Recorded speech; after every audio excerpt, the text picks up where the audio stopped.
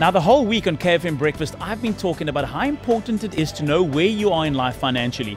You never know what is going to happen in terms of how long you're going to live when you reach retirement. What's going to happen then? What happens in terms of living uh, after your kids grow up, after your kids have left home? What about if you just left school? You've started a, uh, a job, you're studying. Uh, you're kind of thinking to yourself, how have I planned adequately for my future?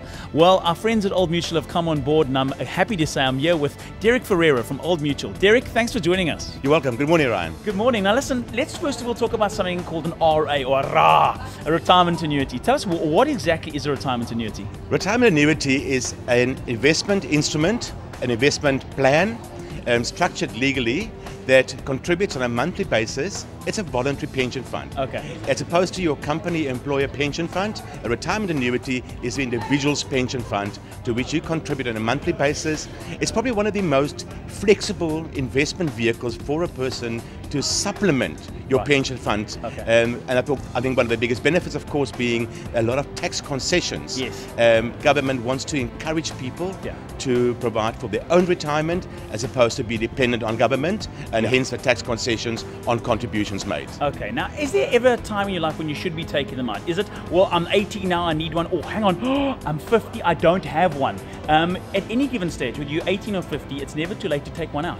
I think around the old truism, people often ask me when's the best time to yes. start saving? Yeah. Well, the answer is the best time to start is 20 years ago.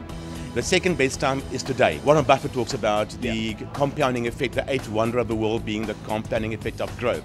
Now, to illustrate, what does compounding really mean? Yeah. And to the man in the street, to the listener, what, is, what does compounding mean? I'm going to give you two choices, Ryan. Okay.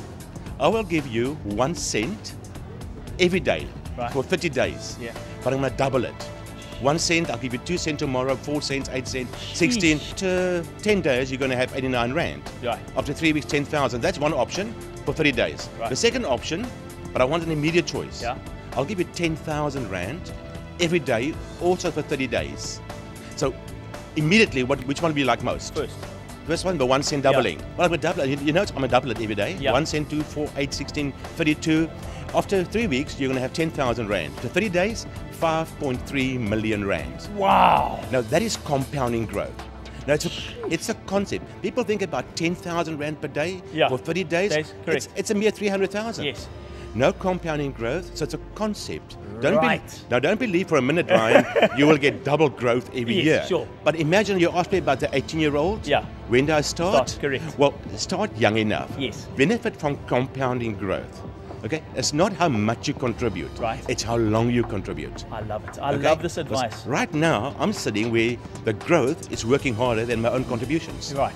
You and that's the benefit of compounding. Let's face it, you might not be 18, you might not be even near retirement, but you're at a point where you're asking yourself questions. When I get there, will I have enough?